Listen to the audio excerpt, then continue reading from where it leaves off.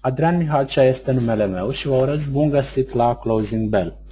Euro-USD astăzi, dar în general piața financiară a evoluat într-un context optimist. Acesta a fost uh, dat de, de mai multe cauze, principala fiind uh, așteptările pozitive pentru răscumpărarea Greciei, așteptările privind uh, Fed miercuri care depreciază dolarul, dar și niște date economice ce au fost lansate astăzi.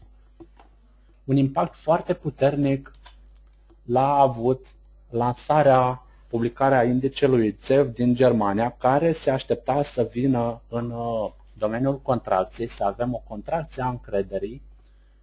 În schimb, am avut o creștere destul de bună a încrederii în economia Germaniei și în economia europeană.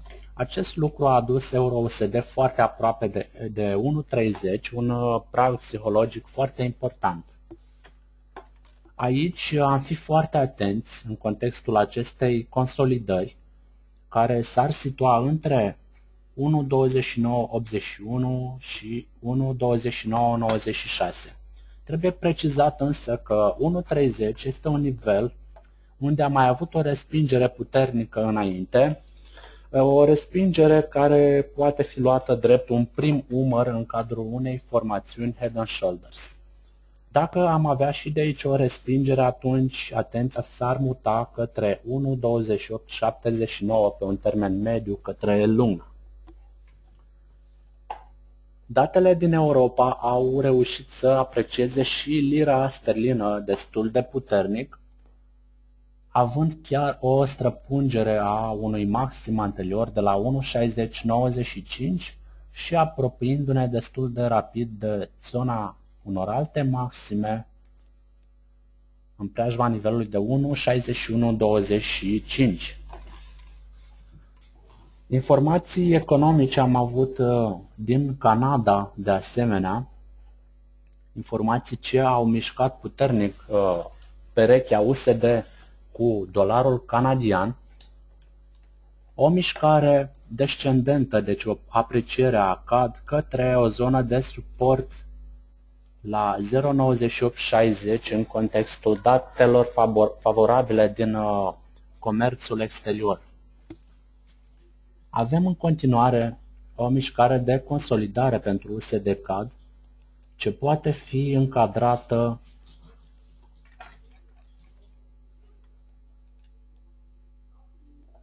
într-un uh, ending diagonal. Este o formațiune care ar putea arăta epuizarea trendului descendent și în cazul unei mișcări peste latura superioară ne-am uitat ca și target la nivelul de 0,9899.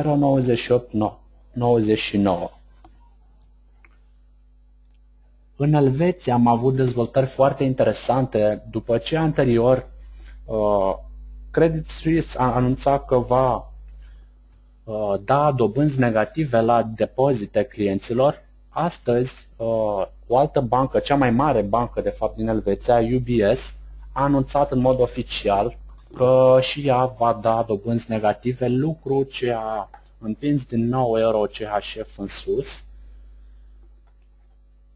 Repere tehnice având la 61% retragere din căderea anterioară, nivel 1.21.26.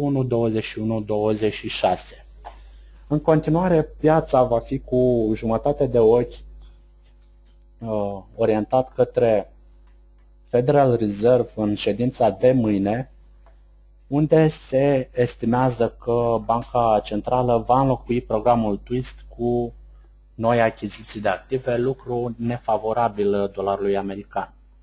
Vă mulțumesc pentru atenție și vă doresc o seară cât mai reușită.